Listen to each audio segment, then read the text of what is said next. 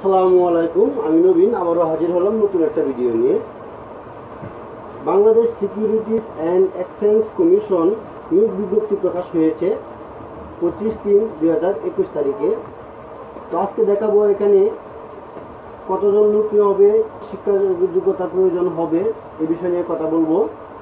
আর কত টাকা লাগবে, আবেদন কত তারিখ পর্যন্ত করতে পারবেন তার আগে সবার কাছে ছোট্ট একটা রিকোয়েস্ট থাকবে, আমার চ্যানেলে যদি নতুন হয়ে থাকেন, তাহলে প্লিজ সাবস্ক্রাইব করুন আর পাশে থাকা বেল আইকনটি বাজিয়ে দিন, যাতে করে নতুন কোনো ভিডিও আপলোডের সাথে সাথে নোটিফিকেশন চলে যায়। আর যদি সাবস্ক্রাইব করে থাকেন, তাহলে অসংখ্য ধন্যবাদ। এছাড়াও আমার চ্যানেলে নতুন নতুন ভিডিও রয়েছে, প্রয়োজনে দেখে নিতে পারেন। Bangladesh securities and exchange commission Bangladesh পুঁজিবাজার নিয়ন্ত্রণকারী সংস্থা Bangladesh securities and exchange commission এর নিম্নবর্ণিত পদসমূহে নিয়োগের জন্য বাংলাদেশ স্থায়ী নাগরিকদের নিকট হতে দরখাস্ত আহ্বান করা যাচ্ছে। এক নম্বর রয়েছে, সহকারী পরিচালক সাধারণ পদ সংখ্যা সাতান্ন জন। এখানে অনুদর্ব তিরিশ বছরের মধ্যে হতে হবে। জাতীয় বেতন স্কেল দুই হাজার পনেরো অনুযায়ী বেতন স্কেল বাইশ হাজার থেকে তিপ্পান্ন হাজার ষাট টাকা বেতন। গ্রেড নয়, অনুস্বীকৃত বিশ্ববিদ্যালয় হইতে ব্যবসায় শিক্ষা ব্যবসায়িক প্রশাসন, অর্থনীতি পরিসংখ্যান ক্যাপিটাল মার্কেট বিষয়ে দ্বিতীয় শ্রেণি বা সমমানের সিজিপিএ সহ চার বছরের মেয়াদী স্নাতক সহ স্নাতকোত্তর ডিগ্রি। এখানে যে কোন কোন জেলার লোক আবেদন করতে পারবেন না, প্রয়োজন নেই, এটা দেখে নেবেন। আর এটা তো আপনারা সবাই জানেন যে এটি ও শারীরিক প্রতিবন্ধী সকল জেলার লোক আবেদন করতে পারে। দুই নম্বর রয়েছে সহকারী পরিচালক লিগেল সার্ভিস এখানে চারজন লোক নেওয়া হবে, তিরিশ বছরের মধ্যে হতে হবে বাই- বাইশ হাজার থেকে তিপ্পান্ন হাজার ষাট টাকা বেতন গ্রেড নয়। শিক্ষাগত যোগ্যতা কোনো শিক্ষিত বিশ্ববিদ্যালয় হইতে আইন বিষয়ে দ্বিতীয় শ্রেণি বা সমমানের সিজিপিএ সহ স্নাতক ডিগ্রি থাকতে হবে। তিন নম্বর রয়েছে সহকারী পরিচালক, এম আই এস চারজন লোক নেওয়া হবে, তিরিশ বছরের মধ্যে হতে হবে। বাইশ হাজার থেকে তিপ্পান্ন হাজার ষাট টাকা বেতন, গ্রেড নয়। শিক্ষাগত যোগ্যতা কোনো শিক্ষিত বিশ্ববিদ্যালয় হইতে কম্পিউটার বিজ্ঞান, electrical and electronics engineering M I S এ সমজাতীয় বিষয়ে চার বছর মেয়াদী স্নাতক বা বিএসসি ইঞ্জিনিয়ারিং এ ডিগ্রি। চার নম্বর রয়েছে জনসংযোজন কর্মকর্তা। পদ সংখ্যা দুজন তিরিশ বছরের মধ্যে হতে হবে। বাইশ হাজার থেকে তিপ্পান্ন হাজার ষাট টাকা বেতন, নয় নম্বর গ্রেড। শিক্ষাগত যোগ্যতা কোনো শিক্ষিত বিশ্ববিদ্যালয় হইতে গণযোগাযোগ ও সাংবাদিকতা বিষয়ে দ্বিতীয় শ্রেণি বা সমমানের সিজিপিএ সহ চার বছরের মেয়াদী স্নাতক সম্মান ডিগ্রি থাকতে হবে। পাঁচ নম্বর রয়েছে হিসাব রক্ষক কর্মকর্তা। এখানে একজন লোক নেওয়া হবে, তিরিশ বছরের মধ্যে হতে হবে। বাইশ হাজার থেকে তিপ্পান্ন হাজার ষাট টাকা বেতন গ্রেড নয় শিক্ষাগত যোগ্যতা কোনো শিক্ষিত বিশ্ববিদ্যালয় হইতে ব্যবসায় শিক্ষা বা ব্যবসায় প্রশাসন বিষয়ে তৃতীয় শ্রেণি বা সমমানের সিজিপিএ সহ চার বছর মেয়াদী স্নাতক ডিগ্রি থাকতে হবে। ছয় রয়েছে ব্যক্তিগত কর্মকর্তা, এখানে একুশ জন লোক নেওয়া হবে। বয়স তিরিশ মিনিটের মধ্যে হতে হবে। ষোলো হাজার থেকে আটত্রিশ হাজার ছয়শো চল্লিশ টাকা বেতন গ্রেড দশ।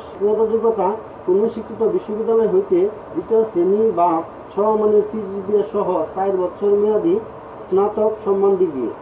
ইংরেজি ও বাংলায় লিপি প্রতি মিনিটে যথাক্রমে আশি ও ষাট শব্দের গতি এবং কম্পিউটার চালনায় দক্ষতা থাকতে হবে।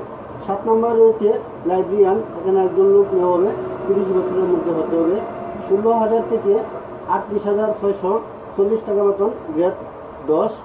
শিক্ষাগত যোগ্যতা কোনো শিক্ষিত বিশ্ববিদ্যালয় হইতে দ্বিতীয় শ্রেণি বা সমমানের সিজিপিএতে চার বছরের মেয়াদী স্নাতক সমমান ডিগ্রি সহ লাইব্রেরি লাইসেন্স ডিপ্লোমা অথবা লাইব্রেরি লাইসেন্স দ্বিতীয় শ্রেণি বা সমমানের সিজিপিএ সহ স্নাতক সম্মান ডিগ্রি।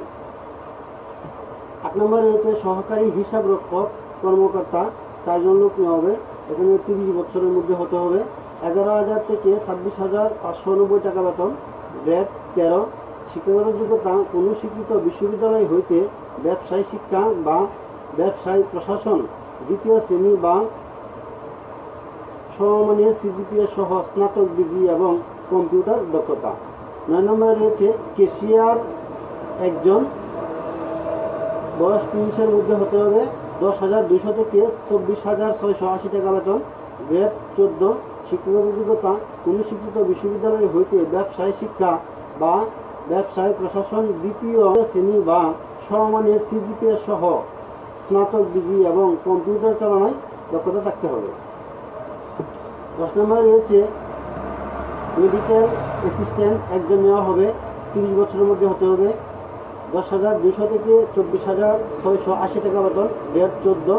শিক্ষাগত যোগ্যতা কোনো কোনো স্বীকৃত ইনস্টিটিউট হইতে মেডিকেল টেকনোলজি ফার্মাসিতে ডিপ্লোমা, ডিগ্রি।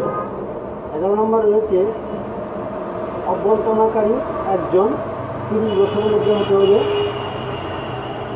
নয় হাজার তিনশো থেকে বাইশ হাজার চারশো নব্বই টাকা বেতন, গ্রেড ষোলো।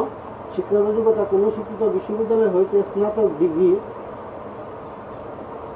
এবং ইংরেজি ও বাংলায় সাবলীলভাবে কথা বলার যোগ্যতা সম্পন্ন। এখানে কুমিল্লা লোক আবেদন করে পারবে না। বারো নম্বর রয়েছে গাড়ি চালক তিনজন। তিরিশ বছরের মধ্যে হতে হবে। নয় হাজার তিনশো থেকে বাইশ হাজার চারশো নব্বই টাকা বেতন। গ্রেড ষোলো। শিক্ষাগত যোগ্যতা কোনো শিক্ষিত বোর্ড হইতে মাধ্যমিক স্কুল সার্টিফিকেট বা সমমানের পরীক্ষায় উত্তীর্ণ। হালকা বা ভারী মোটর গাড়ি চালনায় বৈধ লাইসেন্স এবং মোটর গাড়ি চালনায় অভিজ্ঞতা। এখানে এই সকল জেলা- জেলার লোক আবেদন করতে পারবে না। আপনি এগুলো দেখে নিন। তেরো নম্বর রয়েছে অফিস সহায়ক। সাতাশ জন নেওয়া হবে। তিরিশ বছর, তিরিশ বছরের মধ্যে হতে হবে। আট হাজার দুইশো পঞ্চাশ থেকে বিশ হাজার দশ টাকা বেতন গ্রেড বিশ। শিক্ষাগত যোগ্যতা কোনো শিক্ষিত বোর্ড হইতে অনন্য মাধ্যমিক স্কুল সার্টিফিকেট বা সমমানী পরীক্ষায় উত্তীর্ণ। এখানে এই- লোকগুলা, এই এই জেলার লোকগুলো আবেদন করতে পারবে না। তারপর রয়েছে, এখানে জিপিএটা কীভাবে ভাগ করা হবে এটা দেখে নিন আপনারা। তারপরে রয়েছে, আবেদন ফর্ম পূরণ এবং পরীক্ষায় অংশগ্রহণের ক্ষেত্রে নিম্নবর্ণিত শর্তাবলী অবশ্যই অনুসরণ করতে হবে। আগ্রহী প্রার্থীগণ অনলাইনে এক সাইট দুই হাজার একুশ হইতে তিরিশ সাইট দুই হাজার একুশ তারিখ বাংলাদেশ সময় রাত বারোটা পর্যন্ত আবেদন করতে পারবেন। প্রার্থীগণ W W W dot S EC dot dot BD এই ওয়েবসাইটে আবেদনপত্র পূরণের লিঙ্ক পাওয়া যাবে।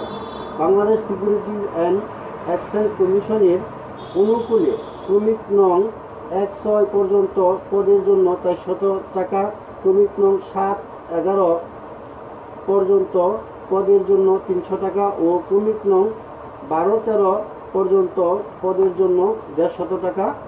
আবেদন ফি বিকাশ, নগদ এবং এর মাধ্যমে জমা প্রদান করতে হবে। উল্লেখ্য আবেদনপত্র দাখিলের পরবর্তী বাহাত্তর ঘণ্টার মধ্যে ফি জমা প্রদান করতে হবে।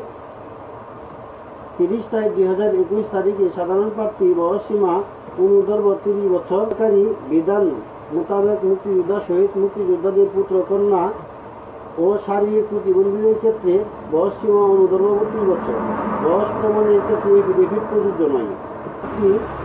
কর্তৃক প্রদত্ত কোনো তথ্য, জাল, মিথ্যা বা ভুয়া প্রমাণিত হলে কিংবা পরীক্ষায় নকল বা উপায় অবলম্বন করলে সংশ্লিষ্ট প্রার্থী, প্রার্থিতা বাতিল করা হবে এবং তার বিরুদ্ধে যথাযথ আইনানুগ ব্যবস্থা গ্রহণ করা হবে। তথ্য ভুল প্রমাণিত হলে পরীক্ষায় উত্তীর্ণ যে কোনো প্রার্থী, প্রার্থিতা বাতিল করার ক্ষমতা কর্তৃপক্ষ সংরক্ষণ করেন। কোনো প্রকার তদবির বা সুপারিশ প্রার্থীর অযোগ্যতা হিসেবে বিবেচিত হবে। চোদ্দতম গ্রেড থেকে বিশতম গ্রেড নিয়োগের ক্ষেত্রে সরকারি বিধি মোতাবেক কোটা পদ্ধতি অনুসরণ করা হবে। পদের সংখ্যা হ্রাস বৃদ্ধি হতে পারে। লিখিত মৌখিক ব্যবহারিক পরীক্ষায় অংশগ্রহণের জন্য কোনো প্রকার টিএ দিয়ে প্রদান করা হবে না। নিয়োগ পরীক্ষা সংক্রান্ত যে কোনো বিষয়ে নিয়োগকারী কর্তৃক সিদ্ধান্ত চূড়ান্ত বলে গণ্য হবে। বিভাগীয় প্রার্থীর ক্ষেত্রে বয়স, শিথিলযোগ্য সংক্রান্ত যাবতীয় তথ্য বাংলাদেশ সিকিউরিটিজ অ্যান্ড এক্সচেঞ্জ কমিশনের ওয়েবসাইটে W W dot S EC dot gov dot BD পাওয়া যাবে। এই ছিল আজকের মতো আমার ভিডিও। তো সবাই ভালো থাকেন, সুস্থ থাকেন। আল্লাহ হাফেজ।